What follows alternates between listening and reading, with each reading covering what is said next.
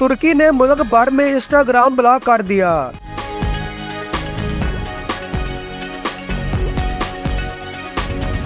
तुर्की ने मुल्क भर में सोशल मीडिया प्लेटफॉर्म इंस्टाग्राम को ब्लॉक कर दिया।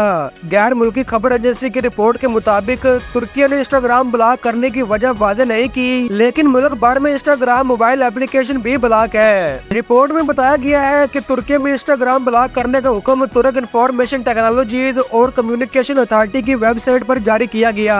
ये इकदाम बुध के रोज तुर्क कम्युनिकेशन अहदेदार फराहतीन अलतून के तबसरों के बाद किया गया है, जिन्होंने इसमाइल उनिया के कत्ल पर ताजीती पोस्टें ब्लॉक करने पर इंस्टाग्राम को तनकीद का निशाना बनाया था। इन्होंने सोशल मीडिया साइट एक्स पर जारी बयान में कहा था कि ये खालिद सेंसरशिप है। इंस्टाग्राम ने अपनी कार्रवाई के लिए किसी पॉलिसी की खिलाफ वर्जी का हवाला नहीं दिया।